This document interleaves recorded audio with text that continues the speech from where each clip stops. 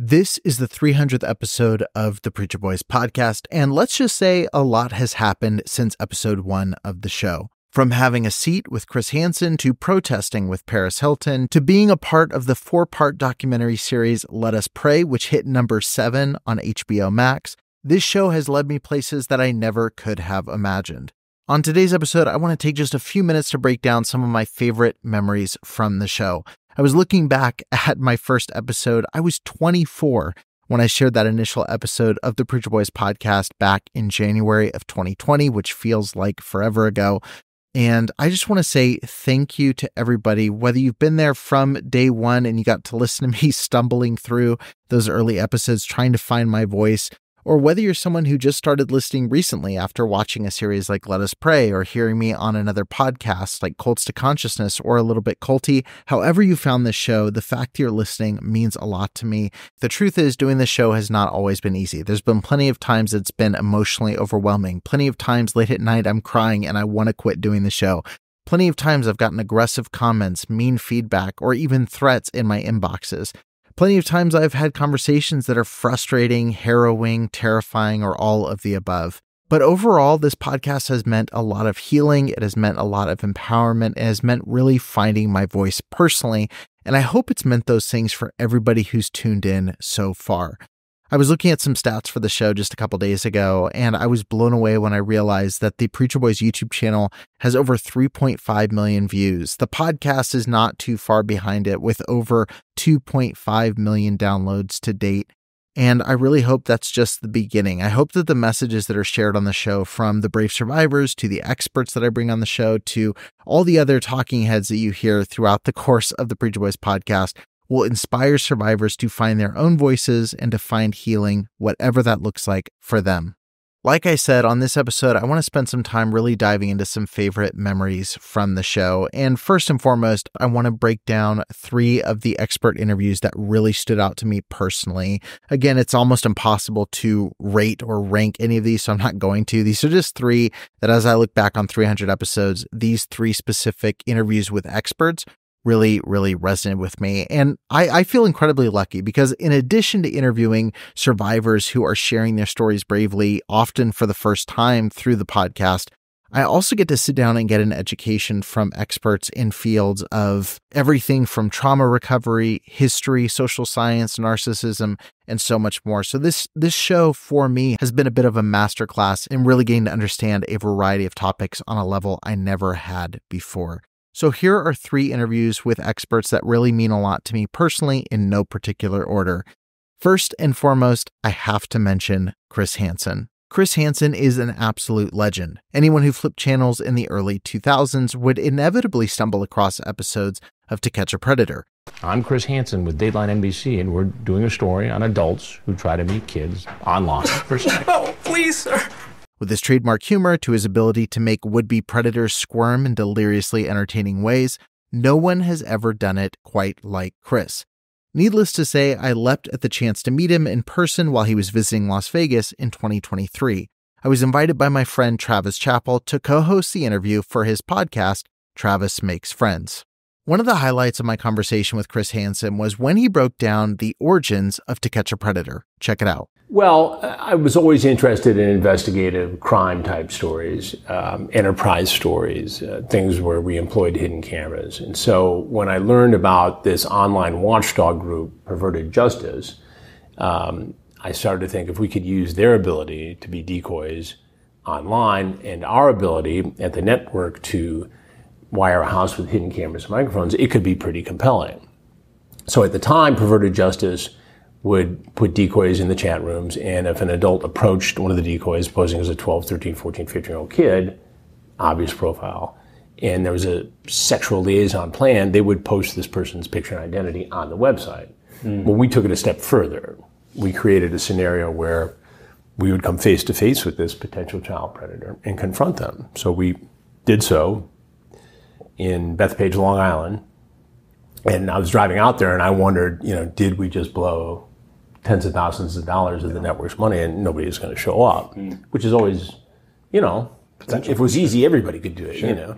So we didn't partner or collaborate with law enforcement for that or the second investigation. And you know, I'm driving out there and my producer calls says, where the hell are you? We've got two guys scheduled in 45 minutes. And, you know, two and a half days later, 17 guys had surfaced in that investigation, oh including goodness. a New York City firefighter.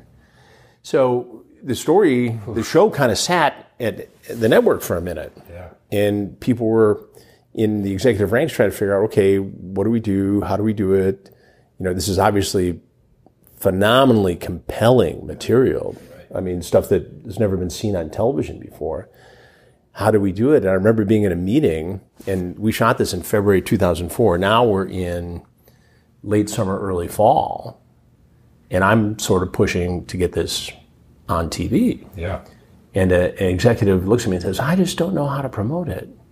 And I, much to the shock of everybody in the room, I said, You know how to promote this? Here's how you promote it. There's a man on your back porch with his penis in his hand and he wants to stick it in your daughter. Tonight we're going to tell you how to prevent that from happening. I don't remember that TV spot. No, there wasn't. There wasn't a spot, but I was so frustrated at not getting it on the air. Yeah, that that's right. Basically, it's like let me be as blunt as possible. Me, yeah, and I, I, did it. For, I did it. I did it for shock value, marketing piece. Yeah, and so you know everybody's looking at me like Hansen's finally lost his mind, and, and, and, and, there was a collective. Yeah. yeah. there was a collective. I mean, everybody was on. I'm, I'm being, you know, sarcastic here and facetious yeah. for, to make a point, but everybody sort of understood. Okay, let it's time. Sure, we're, we're going to do the best we can with this material.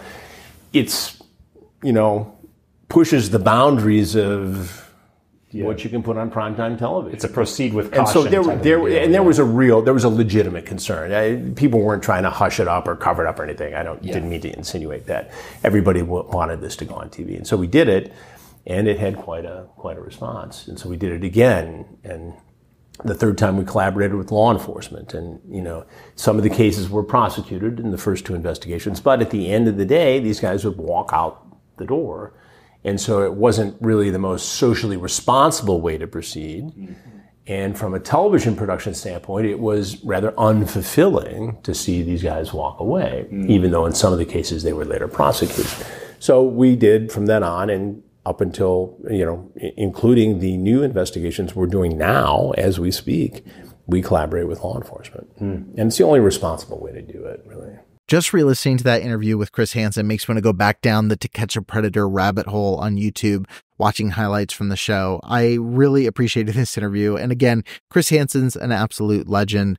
Uh, when you talk about catching predators, he's one of the first names that comes to mind. He's easily memeable. He's hilarious. He's really intelligent. And uh, he really opened the conversation around predators in a big, unprecedented way through a really unique format. And so uh, I really appreciate that interview with Chris Hansen. But instead of going down the rabbit hole of more To Catch a Predator clips, let me go ahead and talk about the second person on my list, and that is Kristin Du Kristen Kristin Du Mez is a New York Times best-selling author. She is a professor at Calvin University, and she wrote the book Jesus and John Wayne, which is absolutely fantastic. It talks about the intersection between religion and politics in the United States. And I have to tell you, it was early on in the course of the show. I believe I interviewed her in 2020. And reading Kristin Du Mez's book, I realized how brilliant she was.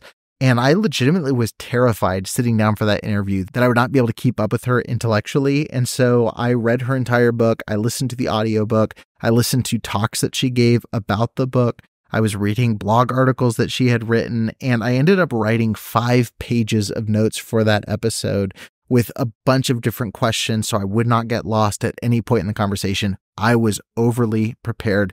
And I know I'm biased, but I think it paid off because the episode came out incredibly. Here's a highlight from my conversation with Kristin Du Mez evangelicals didn't totally disappear after the Scopes trial in the 1920s. Uh, they just didn't maintain control of certain large denominations.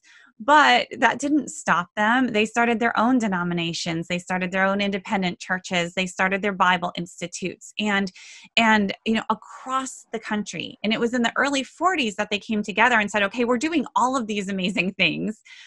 Just think what we could do if we band together." Mm and and they had a plan right? In the early in the uh, early 40s with the national association of evangelicals they knew what they wanted to do.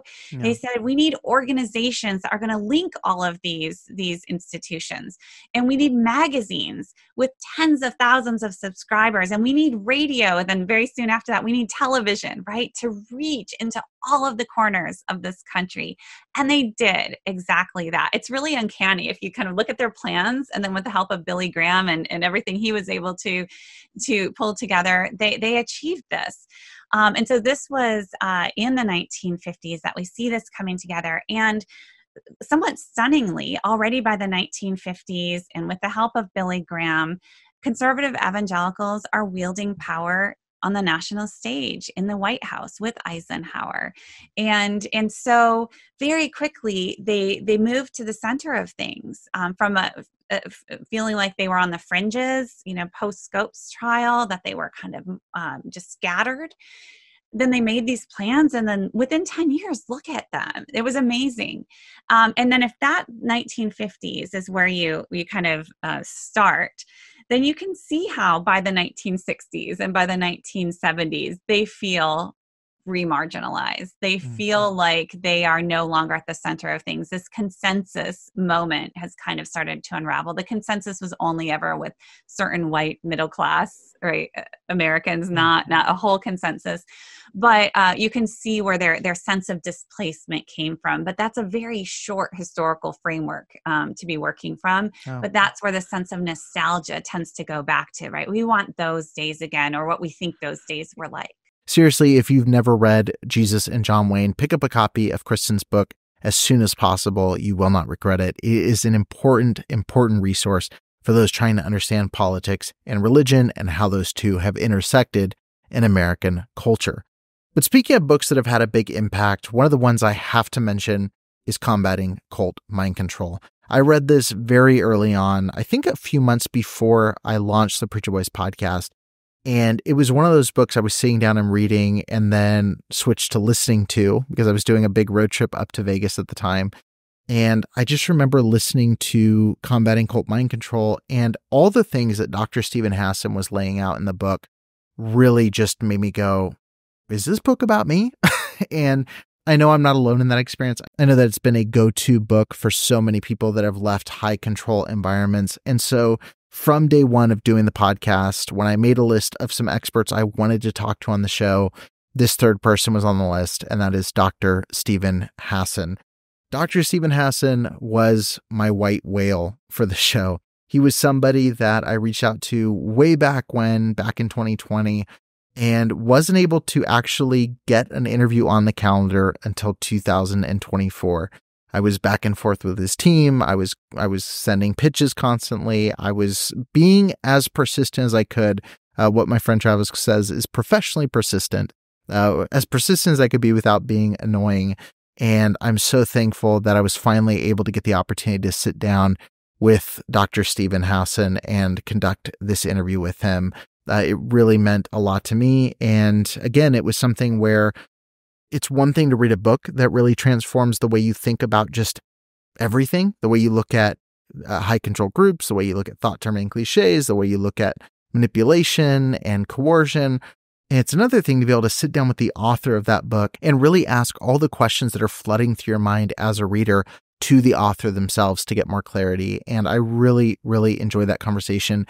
One of my favorite things in the conversation was getting to talk to Dr. Hassan about his own personal faith experience because he often writes about, you know, growing up in cultish environments, but I wanted to talk to him about the religious uh, practices that he explores now, specifically with his Jewish faith. And I think he gave some really interesting perspectives on religion that I think to a fundamentalist are pretty shocking, but I think are also really beautiful. And, you know, while I don't agree with necessarily everything that Dr. Steven Hassan would believe, obviously.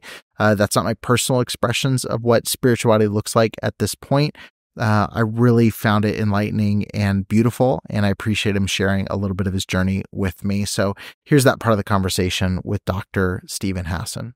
And I'm curious because you are still religious in some sense. And I know you've gone into detail about the healthy version of that that you experience now um, I put myself in a position now. I have no idea what religious living or spirituality means to me in this current stage.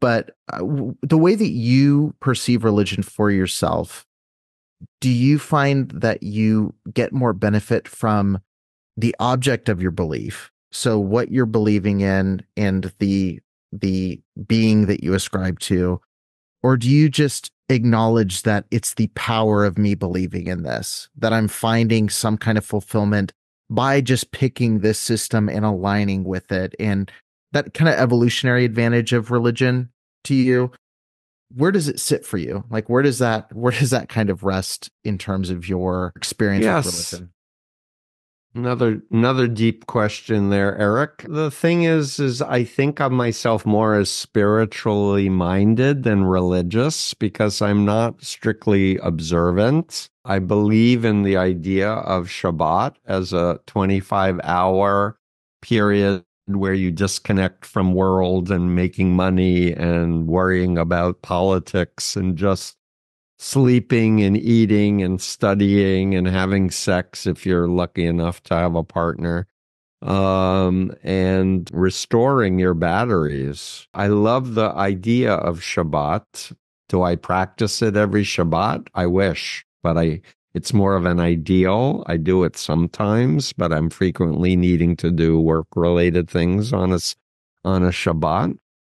I also belong to a progressive community. And the rabbi that uh, I credit for bringing me back to identify as a Jew was a comedian and a scholar. And he would tell jokes on the holiest day of the year, Yom Kippur, and he would be telling jokes from the from the front.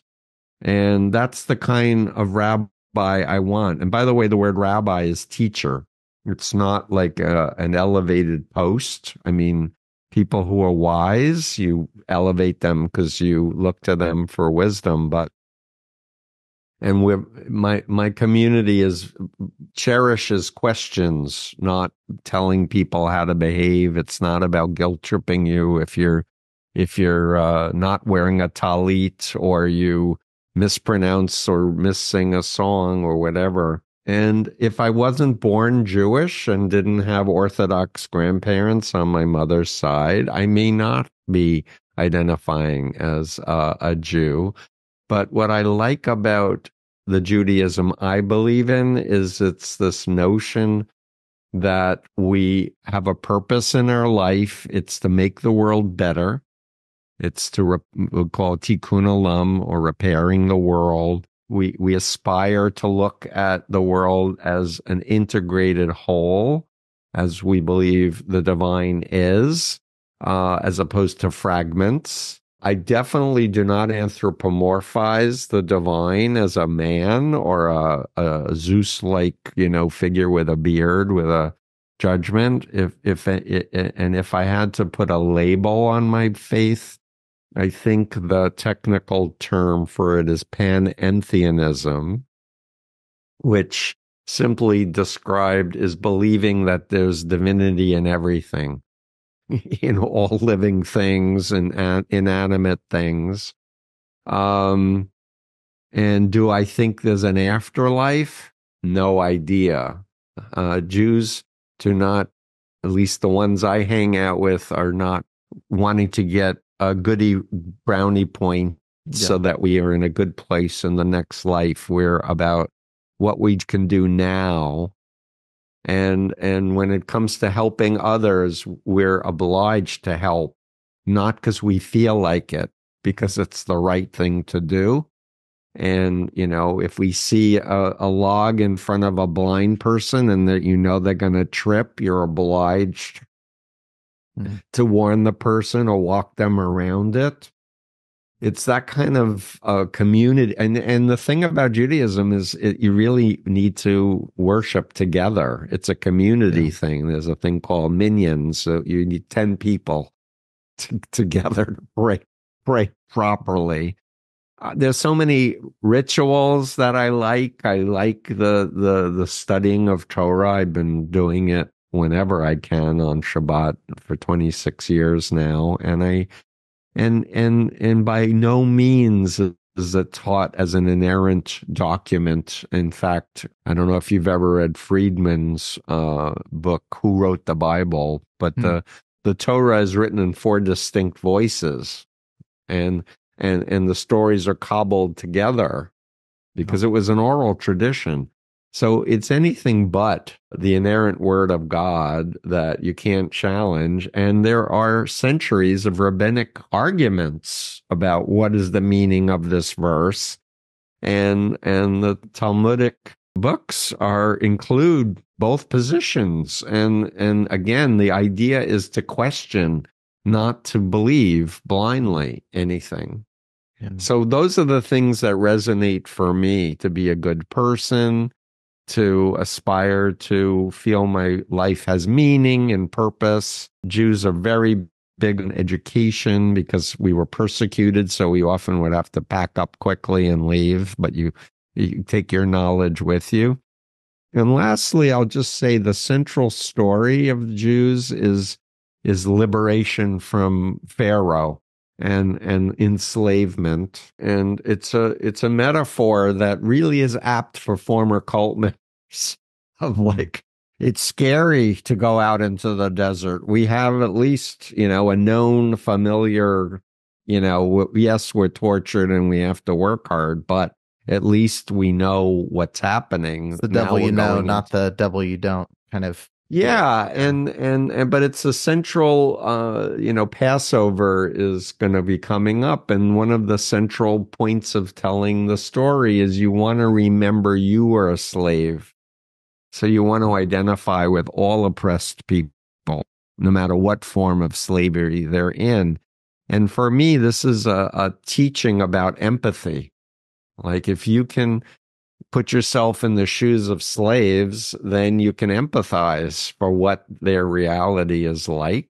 Hmm. And so I think there's a real value in that. So for those reasons and cultural reasons, I identify as a Jew. And let me state categorically that I'm against religious extremism in Judaism, Christianity, Islam, Buddhism, Hinduism, etc.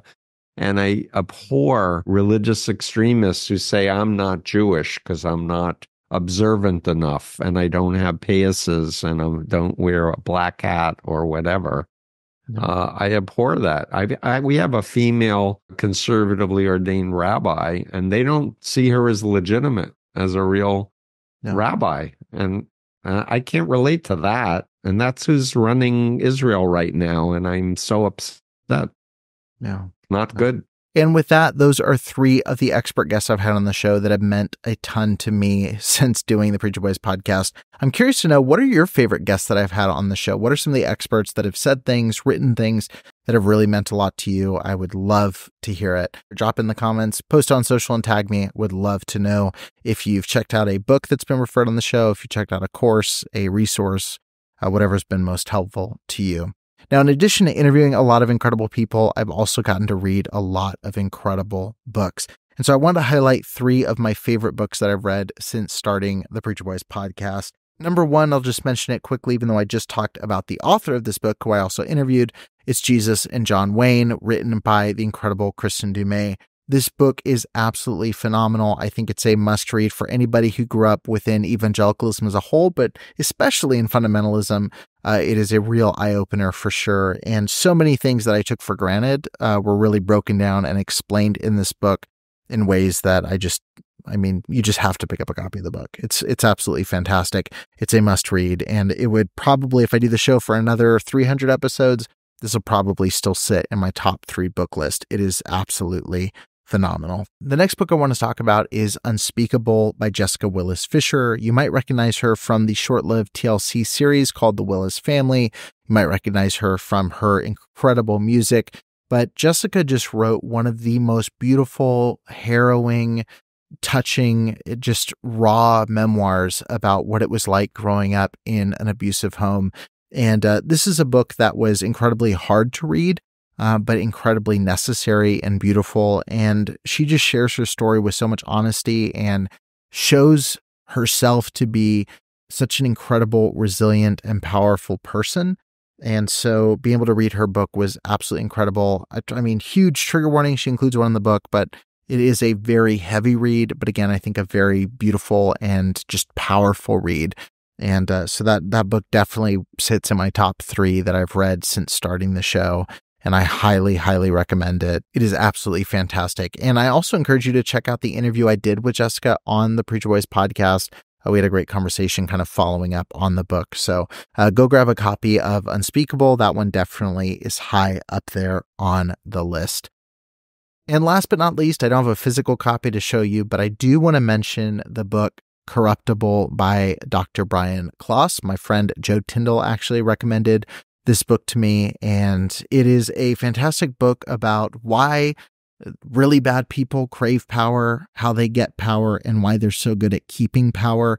And it really opened my eyes to understanding how systems can draw in corrupt leadership, even when the system itself is well intentioned. And again, Dr. Klaas is just one of those minds that just operates on a different level. And uh, I absolutely loved his perspectives that he shared both in his book and on his episode of the Preacher Boys podcast, where we got to go a little bit deeper. So I definitely have to mention that one as well. I've shared a little bit about three favorite expert guest interviews that I've had on the show. And I've talked a little bit about three books that have really impacted me while doing the Preacher Boys podcast. But I also want to look forward to the future a little bit and talk about three of my dream guests for the show. I don't know if I'm mentioning these just to get people thinking or to be able to have a record to say that I wanted to do it for when it happens, or if I'm just speaking into the universe, hoping that this will somehow manifest itself or that some person will hear this and connect me with the right person. But these are three people I would absolutely love to talk to on the show. Uh, number one is Leah Remini. She is obviously the Scientology whistleblower who you've probably seen on A&E's series on Scientology. She hosts a podcast with Mike Rinder about Scientology and just her advocacy work uh, is really, really inspiring to me. I love her personality of the way that she gets down and dirty and really brawls with these cults.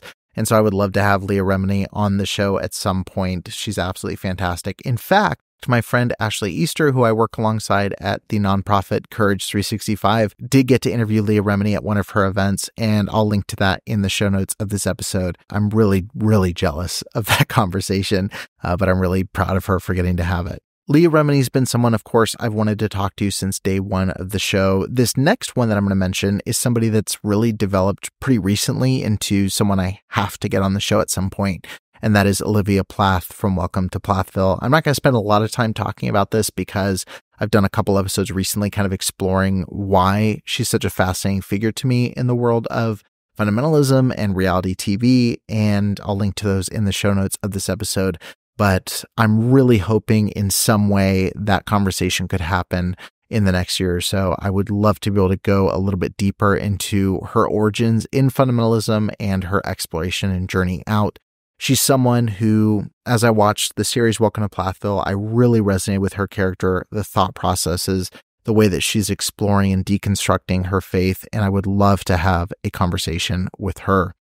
And lastly, and again, this is somebody who's really been on my radar for a minute for a variety of reasons, is Rainn Wilson. Uh, Rainn Wilson, you might know as Dwight from The Office, but he also recently has been doing, I shouldn't even say recently, he's been doing this for years now, uh, is he explores a lot of conversations about spirituality. And I would really love to talk to him about his new book and podcast, Soul Boom, uh, which I've been listening to the first episode of the podcast. I've been watching a lot of his clips, reading a lot of his uh, materials, and then listening to him on a lot of podcasts talking about spirituality and religion.